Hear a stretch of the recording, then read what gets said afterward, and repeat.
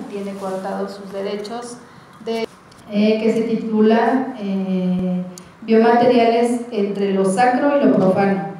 Nada más para cerrar con broche de oro, ¿eh? la maestra Ida de Carmen San Vicente Parada. Adelante, maestra. Ah, qué amable. Muchas gracias, maestra, qué amable.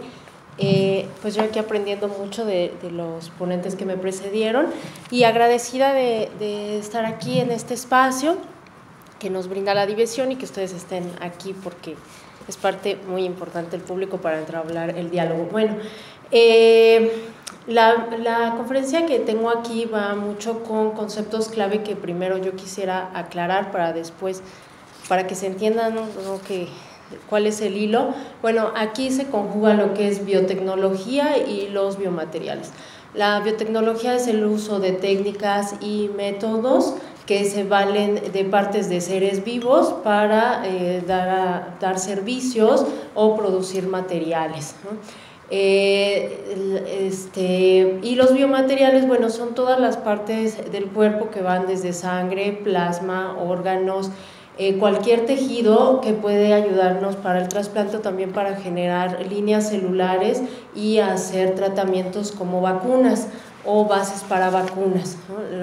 la, verdad es que el cuerpo humano, vamos a decirlo así para que se, se, quede claro, pues es materia prima, es materia prima para las biotecnologías. Nosotros tenemos reguladas las biotecnologías, que eso también es eh, importante que lo mencione aquí, en el artículo, bueno, la definición de biotecnologías que, que van, eh, que, que, voy a dar aquí, es de la ley de bioseguridad y organismos genéticamente modificados, es el artículo tercero y dice Conjunto de técnicas, métodos, tecnologías y procesos cuya nota característica es el uso de seres vivos o partes de su cuerpo, ¿no? los biomateriales para producir bienes y servicios destinados a la población en diversas áreas como agricultura, acuicultura, ganadería, medio ambiente, medicina genética, biocombustibles.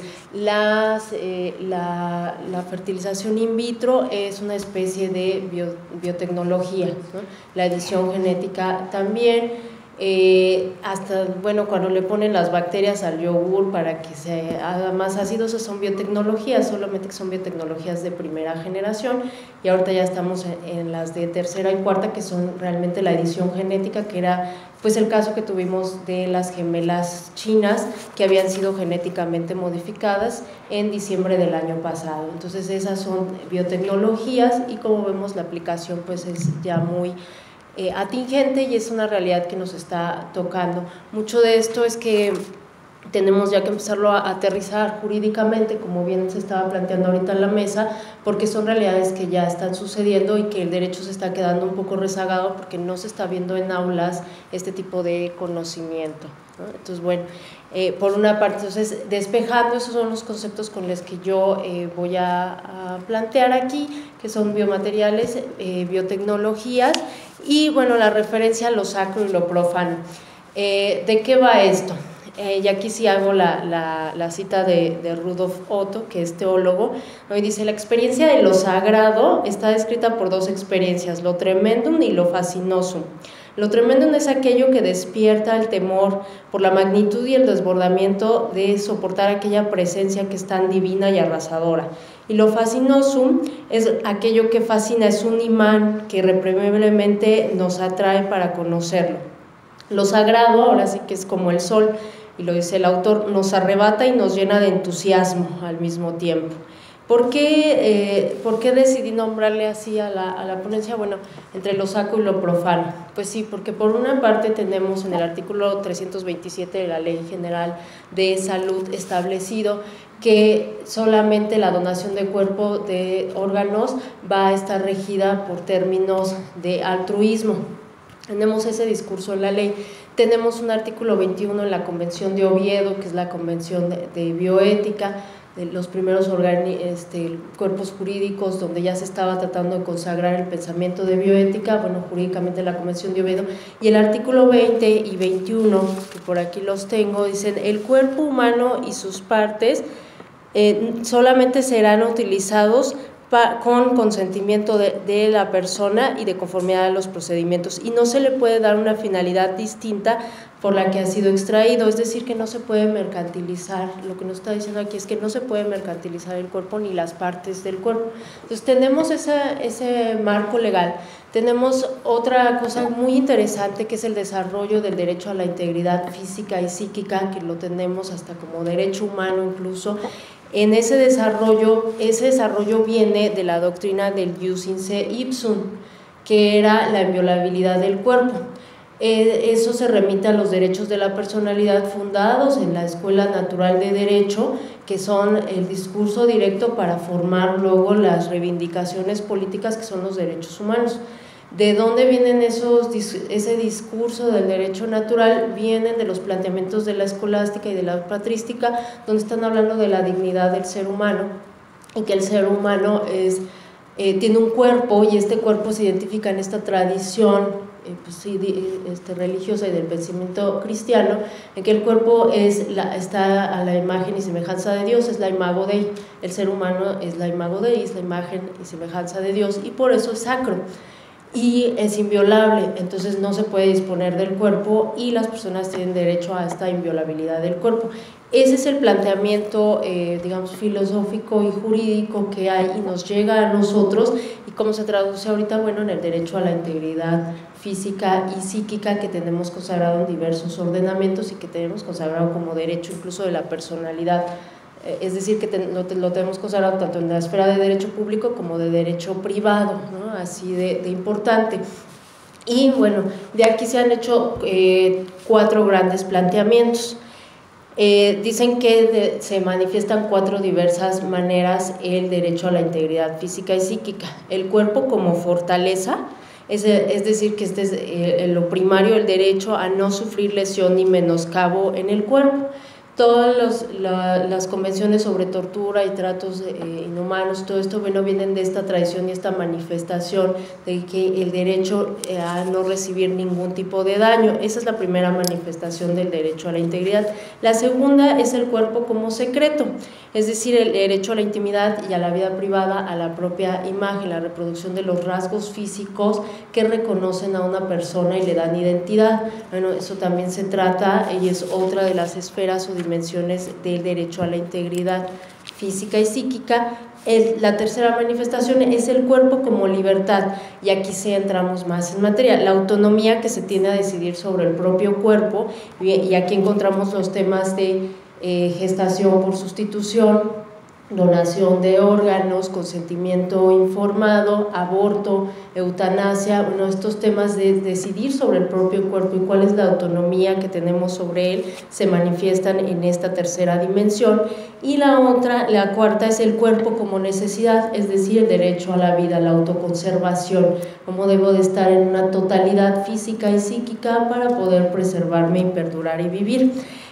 En la ponencia yo me voy a referir a la tercera dimensión de este derecho, que es el derecho al cuerpo como libertad y como autonomía. Y voy a esto ¿por qué? Porque eh, hasta dónde se tiene una soberanía sobre el cuerpo y hasta cuándo se puede o no comercializar con el cuerpo. Porque tenemos en legislación, como yo les decía, estas partes donde dicen, no, el cuerpo eh, tiene esta sacralidad y no debemos de disponer de él. Sin embargo, en varios casos se ha dado lo contrario. Tenemos eh, resultados eh, este, muy importantes, por ejemplo, el caso de Henrietta Lacks. Henrietta Lacks fue una mujer afroamericana que muere a los 31 años por cáncer cervicouterino y en el hospital de Baltimore le toman muestras genéticas, sacan la línea genética de ella y pues se queda así, pero años después sirve esa línea genética para hacer la vacuna de la poliomielitis. ¿Cuándo se le pidió consentimiento?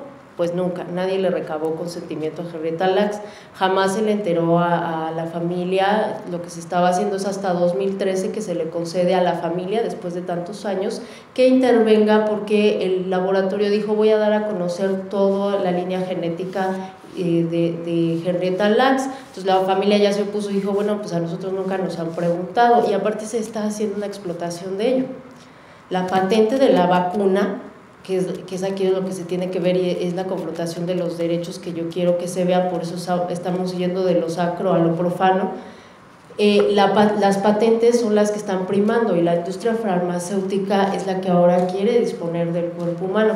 No quiero satanizarlo tampoco porque creo que hay eh, muchas cosas ahí interesantes que nos podrían dar más calidad de vida. Sin embargo, sí necesitamos una, una eh, reforma o necesitamos purificar más o afinar más bien los criterios legales que vamos a tener frente a esto. Digo, y estos son casos eh, que tenemos, también hubo uno más reciente en 2010 de una línea genética de un vaso del señor Moore, le extripan el, el, vaso sabiendo que tiene una línea genética muy interesante y se lo extripan mediante engaños y hacen también biomateriales y productos, biotecnologías de esa línea genética y jamás lo enteran.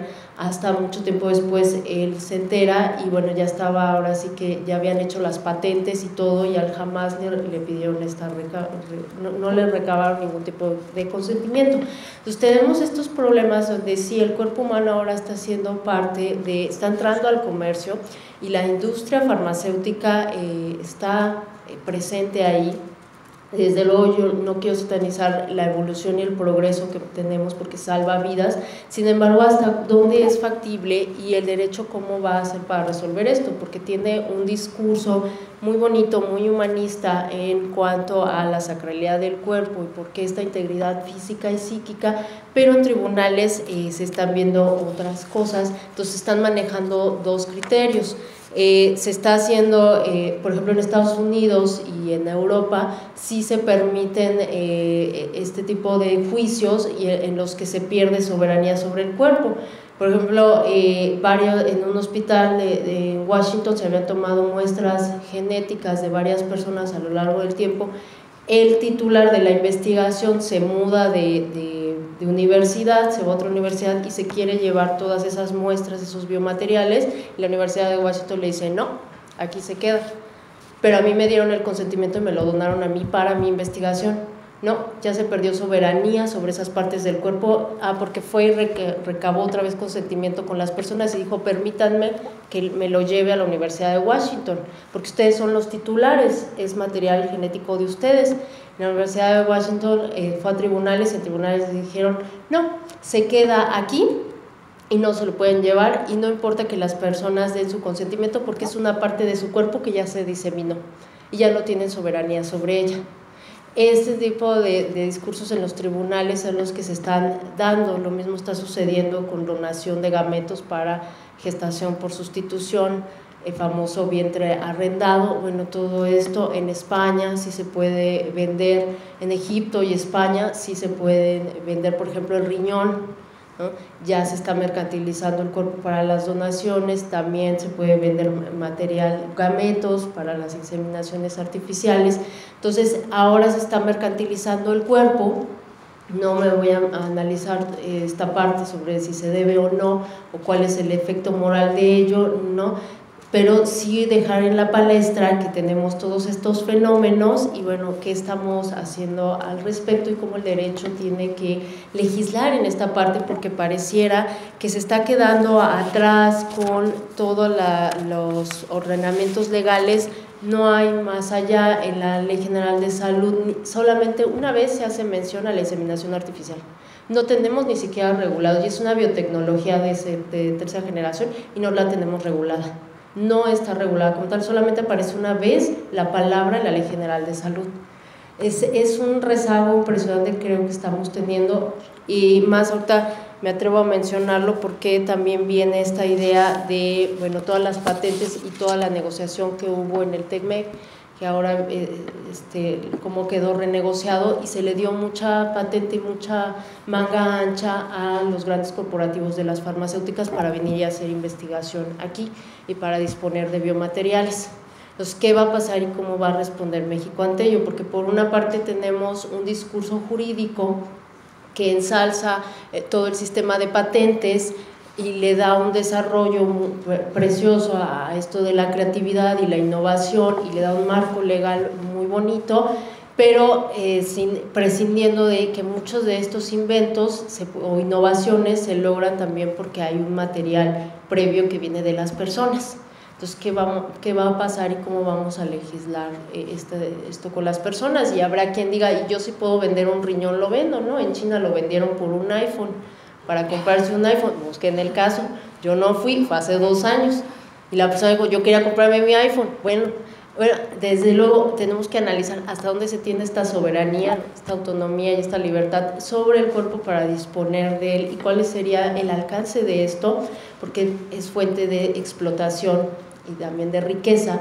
Y también, pues sí, desde luego yo no lo niego, nos puede asegurar un progreso y un futuro que era lo que hace rato estábamos viendo con la primera conferencia del mejoramiento humano pero hasta dónde sí se debe y hasta dónde no, y hasta dónde le podemos violar derechos humanos a las personas. Eh, lo cierto es que mi planteamiento iba más, yo no vine a resolver el hilo negro, nada más los vine a intrigar más de lo que ya están, porque yo también sigo estudiando esto. Les recomendaría a título de comercial El cuerpo diseminado de García Manrique, donde eh, mucha de la ponencia que yo di está basado en ese libro, El cuerpo diseminado de García Manrique es el coordinador y son dos diferentes casos que han existido en, Estados Unidos. Ya nada más para, cerrar, uno de esos casos que me llama mucho la atención eh, es un soldado que pierde una pierna en guerra, eh, en la guerra del Golfo Pérsico me parece, y la tiene en una bodega eh, refrigerada pero ya no puede pagar la renta de la bodega y entonces rematan todo lo que haya dentro de la bodega y entre ellos pues no sabían que estaba en el refrigerador congelada la pierna. Fueron a tribunales porque el nuevo, eh, quien había adquirido, dice pues yo lo compré, venía ahí, ahí ¿Y para qué quiere la pierna de la persona? Bueno, pues no se la quiso dar, se, se tuvieron que ir a tribunales para decir por qué le correspondía o no el, el, derecho de persecución sobre su pierna, por llamarlo de alguna manera.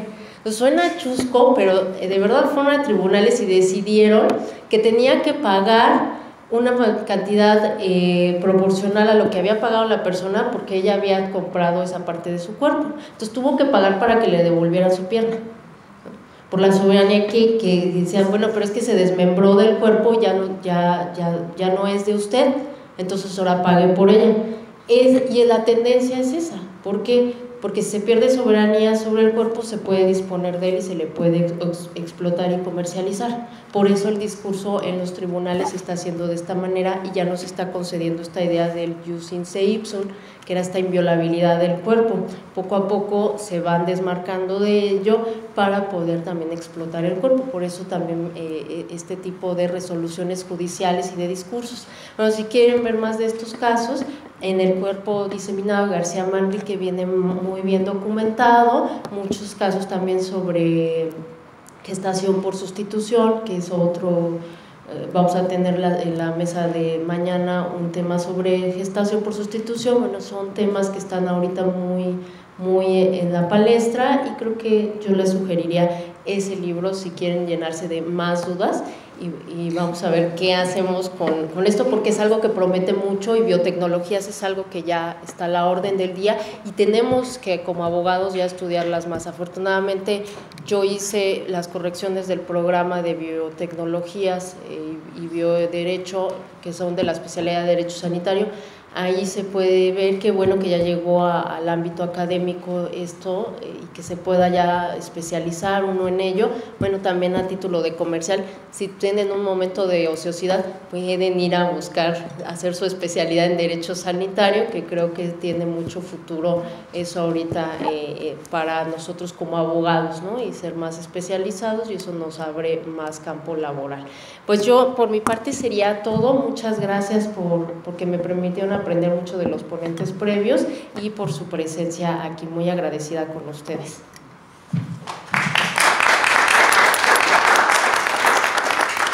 Muchas gracias, maestra.